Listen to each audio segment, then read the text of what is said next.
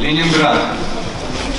12 января 1943 года силами Ленинградского и Волховского фронтов при содействии сил Балтийского флота, Ладожской военной флотилии авиации дальнего действия с целью прорыва блокады Ленинграда началась операция «Искра».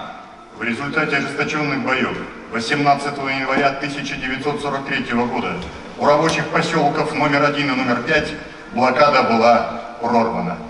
Общие потери советских войск в ходе операции «Искра» составили по разным источникам от 115 до 150 тысяч человек. Друг, товарищ, там, за Ленинградом, ты мой голос слышал за кольцом. Дай мне руку, прорвана блокада. Сердце к сердцу, посмотри в лицо. Кровь друзей, взывавшая к отмщению на полотнах полковых знамен.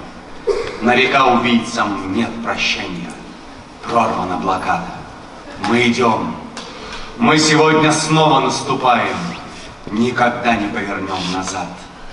Мой малыш-сынишка спит, не зная, как сегодня счастлив Ленинград. 27 января 1944 года в результате Ленинградско-Новгородской операции «Январский гром» блокада Ленинграда была окончательно снята. Ожесточенные бои развернулись на Невском пятачке. Невский пятачок – плацдарм на берегу Невы, площадью до полутора километров. В ходе боев за Ленинград на нем погибло более 50 тысяч советских воинов. Четыре человека на каждый квадратный метр. По данным чрезвычайной комиссии, в результате блокады голодной смертью умерли, умерли 641 803 человека.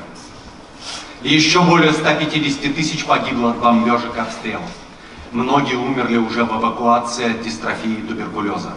Всего погибших насчитывается более 850 тысяч человек. Для сравнения, военные потери союзников за всю историю Второй мировой войны составили около 700 тысяч человек.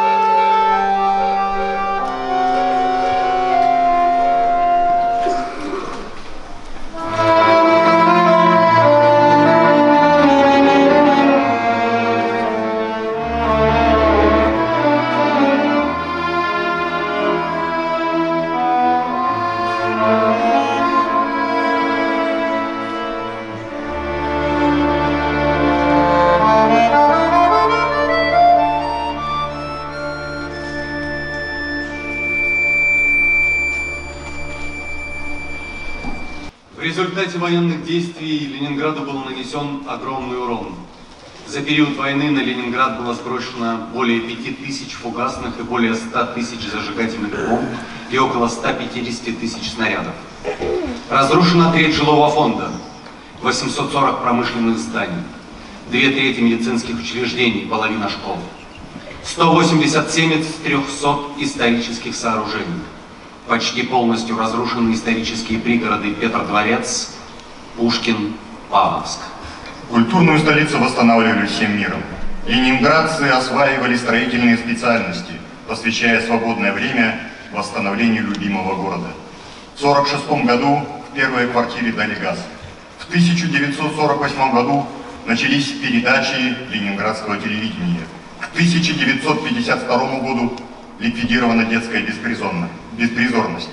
Формально последствия блокады были устранены к 1958 году. Окончательная реставрация исторических пригородов завершилась в 1966 году. Позолоту Адмиралтейства восстановили только в 1977 году. Хотят ли русские войны? Спросите вы у тишины. Над шею башен и полей, и у берез, и тополей. Спросите вы у тех солдат, что под березами лежат. Пусть вам ответят их сыны. Хотят ли русские войны? Не только за свою страну солдаты гибли в ту войну, а чтобы люди всей земли спокойно видеть сны могли. Под шелест листьев и афиш Ты спишь, Нью-Йорк? Ты спишь, Париж? Пусть вам ответят ваши сны. Хотят ли русские войны? Да, мы умеем воевать, но не хотим, чтобы опять солдаты падали в бою на землю грустную свою. Спросите вы у матерей, спросите у жены моей, и вы тогда понять должны, хотят ли русские войны.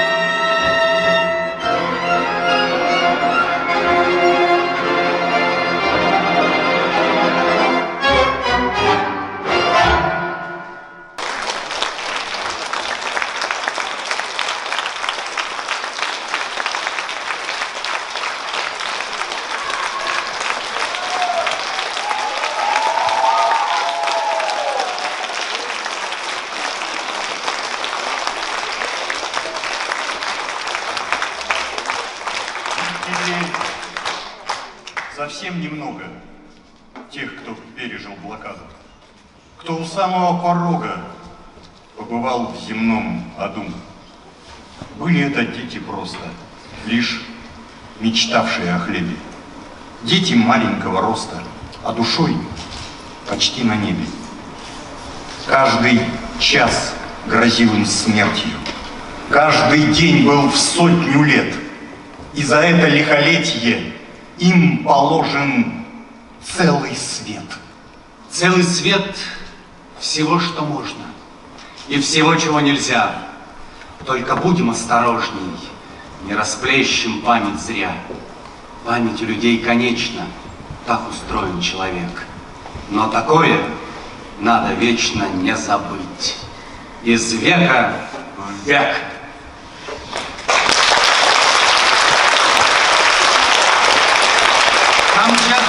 Камерный оркестр имени Георгия Ватунова. Главный дирижер, заслуженный артист Российской Федерации Александр Килев.